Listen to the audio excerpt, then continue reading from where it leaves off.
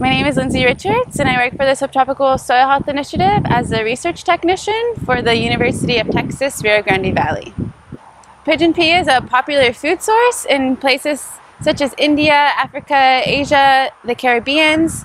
Um, it serves as a major um, health food because it's high in protein and it's widely used for dietary sources of mineral and vitamins in those places.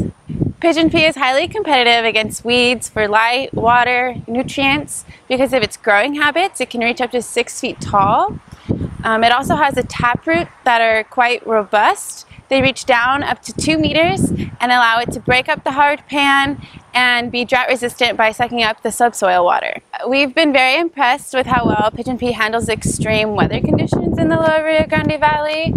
We have very unpredictable weather. For example, the field was saturated for a long period of time in June 2018 when we received over 18 inches of rain in the course of three days.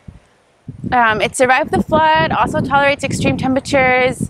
This past summer, we set the record for a number of days above 100 degrees. Um, it actually reached up to 107 degrees, and the pigeon pea had no problem surviving, and that's with no irrigation. Pigeon pea um, can be used in multiple ways, not only as a cover crop, but it can be interplanted between your cash crops, such as watermelon when you're growing that in the heat of the summer, and it can help actually restrict the spread of spores that can infect the plant, such as powdery mildew.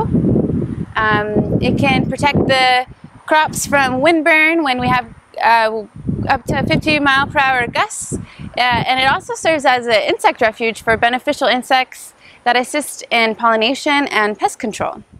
Currently, pigeon pea seed has a limited availability in the U.S. We are still experimenting with seeding rates to achieve maximum weed suppression and nitrogen fixation. Uh, we are also experimenting the best uh, harvesting techniques. So stay tuned with the Subtropical Soil Health Initiative as we continue to explore the challenges and benefits we receive from pigeon peas and how it you know, response to growing in the South Texas conditions.